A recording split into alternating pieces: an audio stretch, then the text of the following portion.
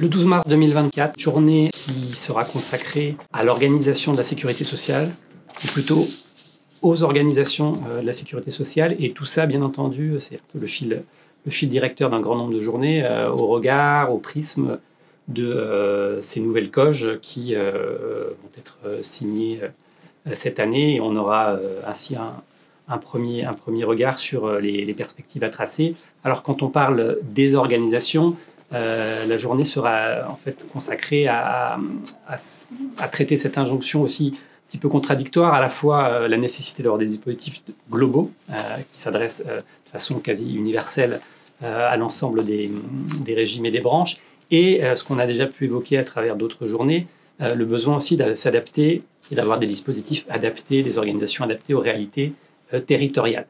Donc on aura vraiment à cœur cette journée à la fois avec les directeurs généraux des caisses nationales, mais aussi avec des euh, directeurs locaux, de discuter du pilotage global de la sécurité sociale, euh, de faire par exemple un premier euh, bilan des mutualisations qui ont pu se produire au cours des dernières, des dernières coges. Hein. Il y aura aussi une dimension évaluation, au-delà de la dimension prospective.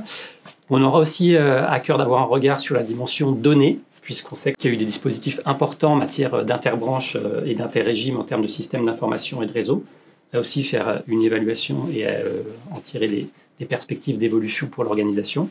Et puis euh, l'après-midi, on aura euh, à cœur de traiter justement de ce, dialogue entre national et local à travers des regards croisés, par exemple, sur le retour de la proximité et le virage territorial qui est repris par les réseaux.